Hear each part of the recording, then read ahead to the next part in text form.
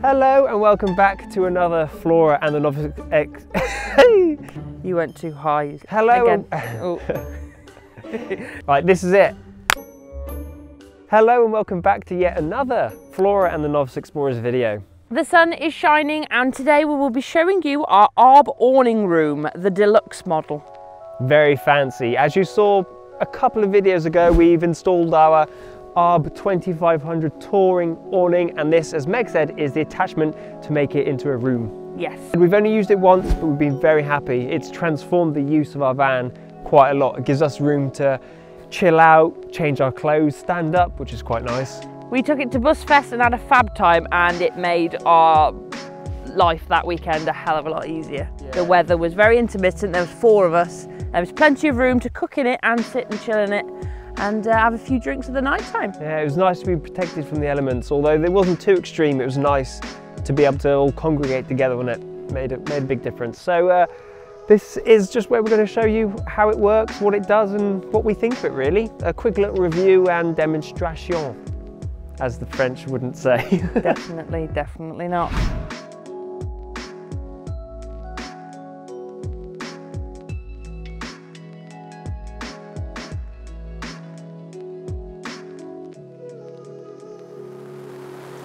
So that took 2.6, uh, no, two minutes. so that took us two minutes and six seconds and it was just in the nick of time.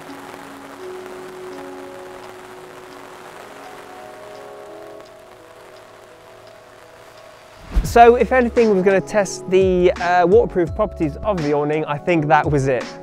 Yeah, that was quite heavy rain with a little bit of hail mixed into, wasn't it? It was really we quite only- something. Only just got the awning up in time. I think what we did, we did it in two minutes, Two minutes, six seconds. which is all right.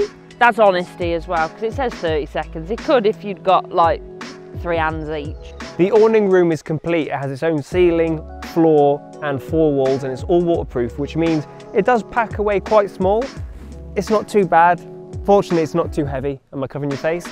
Um, no, just very close to punching in the face. Yeah, it is. This is not particularly compact, but then it is heavy duty and as lightweight as it can be. So that'll either go underneath the bed or in the roof box, depending on how often we think we're going to use it. Mm-hmm.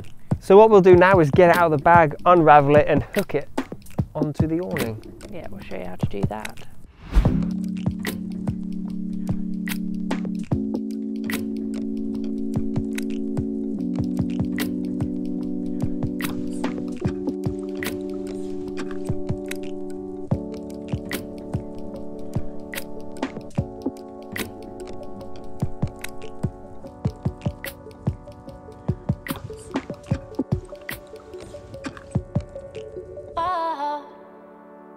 Want you to be mine. And I Want you to be mine.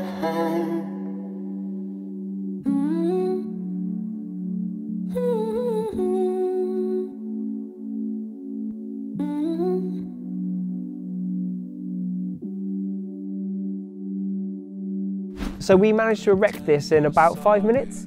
We need to sort of finesse uh, the pegging uh, of it down to make the shape a little bit more uh, square and symmetrical. But this is um, a rough five minute job and as you can see, it's perfect really. Yeah, really big. Plenty of room, standing, Yep. doing bits and pieces. We can have the table set up.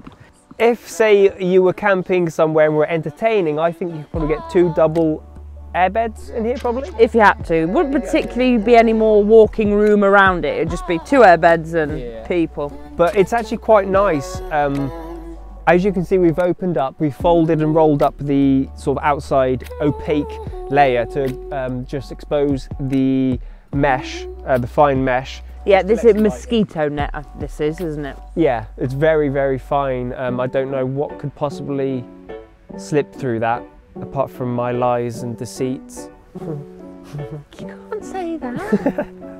So yeah, that's just, we've opened it up just to let some more light in, some air as well, because it's a bit barbecuey, I think, as well.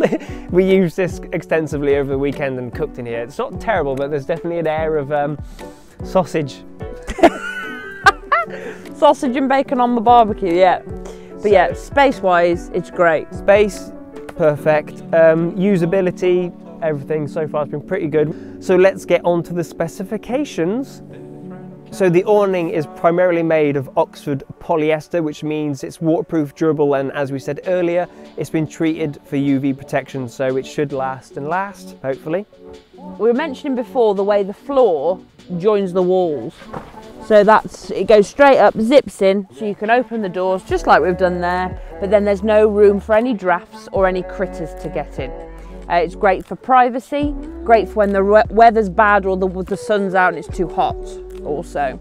What's nice is that ARB have obviously designed this with the practical camper in mind. It comes with um, cable ports, um, storage pockets, everything's just kind of where you'd expect it to be. There's loads of little hooks for hanging things on. They truly have thought about the design and how it's all put together and just general usability for everyday use for, for everyday campers. You know, it's basic stuff, but it, it's usable and it works.